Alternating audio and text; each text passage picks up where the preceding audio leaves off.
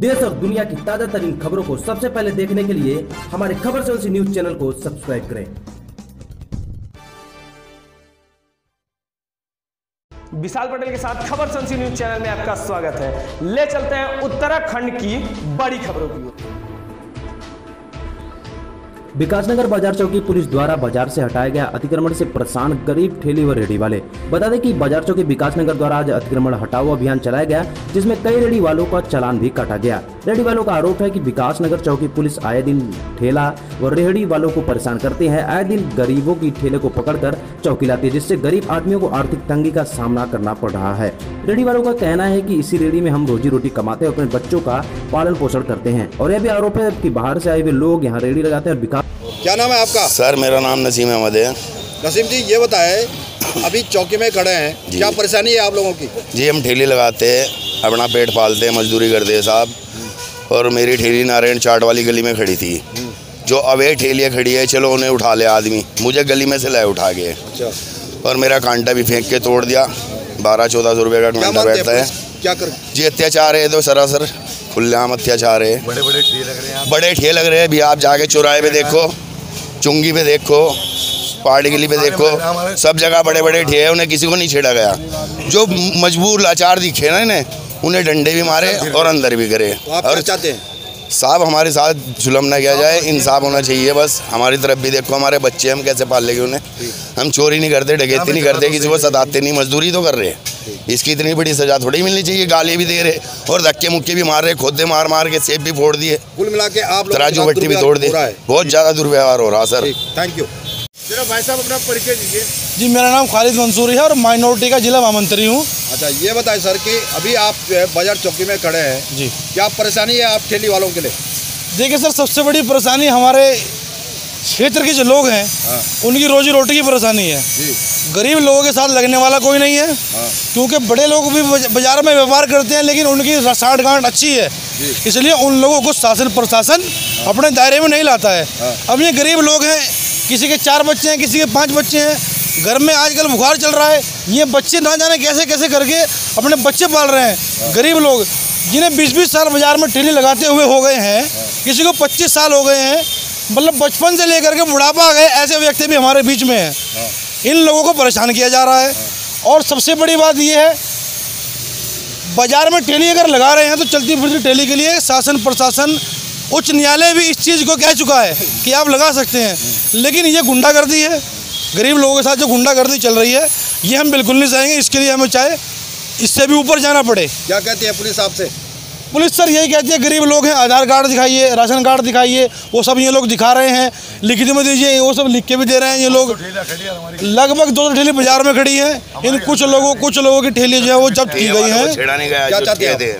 हम ये चाहते हैं इसके लिए कोई प्रोटोकॉल बने। मेरा नाम हबीबुल्ला है। हाँ अभी बोला जी क्या परेशानी है? हमें ये परेशानी हम चलती फिरती ठेले लगाते हैं। हाँ। हमारी ठेले तो पकड़ के अंदर कर दी। यहाँ हज़ारों ठेले लग रही यहाँ से विकास नगर में वहाँ तक। वो किसी के अंदर नहीं करी ना कुछ है। और हमारे तराजू बट्टे भाई के भी तोड़ दिए और हमें गाली गलोच करते हैं बदतमीजी करते हैं हमारे साथ। तो हमें यह है हमें इज़्ज़त से हमें ठेले लगा दे। हम लाइसेंस के हर चीज़ बनाने को तैयार हैं। और बाहर की ठेली यहाँ दिखाई नहीं होनी चाहिए। कोई चोरी करके आ रहा डकैती करके आ रहा खून करके आ रहा वो यहाँ ठेले लगा रहा। कोई कह रहा मेरे चाचा का है कोई मेरे मामा का है। उनका कोई वहाँ पे वो नहीं होना चाहिए। कुल मिला के जो मित्र पुलिस है मित्रता नहीं निभा रही है। हमारे से तो कोई मित्रता है ही नहीं। मित्रता होती तो हमारी ठेलियाँ थोड़ी अंदर करते। सबकी करते हैं। हमारे पाँच दस आदमी ठेली ना अंदर करते। क्या चाहते हैं आप? हम ये चाहते हैं कानून एक समान होना चाहिए सबके लिए। फ़हीम अंसारी है सर। अंसारी जी जो है क्या है क्या पद है आपके पास? मैं रेडी यूनियन का अध्यक्ष हूँ। अच्छा ये बताए सारे यू, ठेली यूनियन यहाँ पे आ रखा है। जी। क्या परेशानी है उनकी? परेशानी उनकी कुछ नहीं है पूरे परेशानी पूरे शहर की है। जैसे कि अतिक्रमण हो रखा है। अब जो यहाँ के स्थायी ठेली वाले हैं वो तो अपनी साइड में लगा ही रखी है उन्होंने। जो ये बाहर से लोग आ रहे हैं ये क्या करते हैं रेडी लगाते हैं ये रोडों पे घूमते हैं। अब जब कोई अधिकारी आता है तो उनको ये थोड़ी पता है कि ये बाहर का है या ये यहीं का है। उन्हें तो रेडी दिख रही है। अब अधिकारी ने इंचार्ज साहब को ऑर्डर दिया कि अतिक्रमण आपने करा रखा है। अब इंचार्ज साहब का तो फ़र्ज़ बनेगा कि उस अतिक्रमण को हटाया जाए। अब वहाँ पे इंचार्ज साहब तो देखेंगे ना किस किस ने अतिक्रमण कर रखा है। इनकी तो मजबूरी हो गई ना उस जगह पे। तो इन्होंने वही करा है।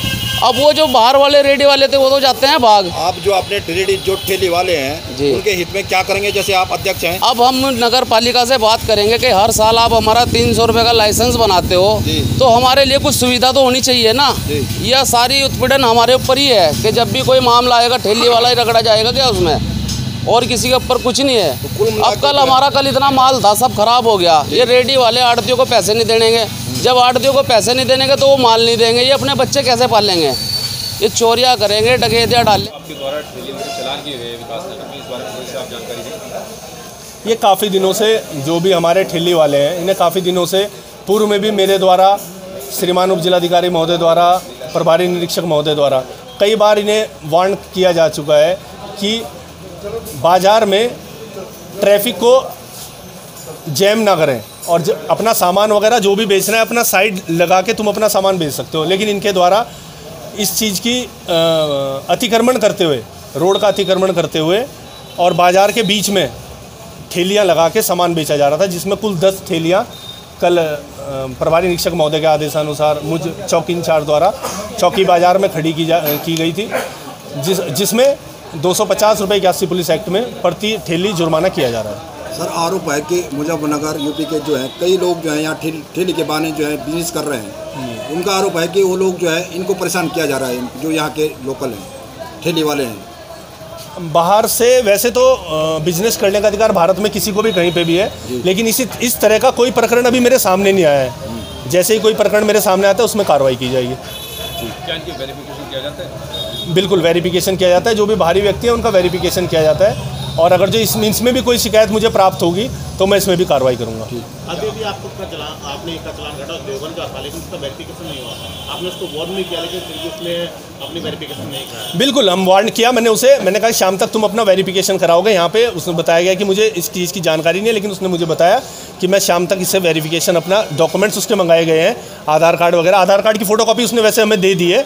इक्यासी पुलिस एक्ट के चालान से पहले उसने आधार कार्ड की कॉपी भी हमें दे दी है और शाम तक उसे फिर वार्न किया गया है कि शाम तक अपना वेरिफिकेशन कराएँगे। जिस तरह से देखा जा रहा है कि बाज़ार में ये ट्रैफ़िक भी मतलब ट्रैफ़िक के द्वारा भी अतिक्रमण हो रहा है उस पर आप क्या कार्रवाई करेंगे? ट्रैफ़िक को लेके आज आज नगर पाल प्रभारी निरीक्षक द्वारा और सीओ महोदय द्वारा सीओ विकास नगर महोदय द्वारा हरबटपुर से कुल्हाल से और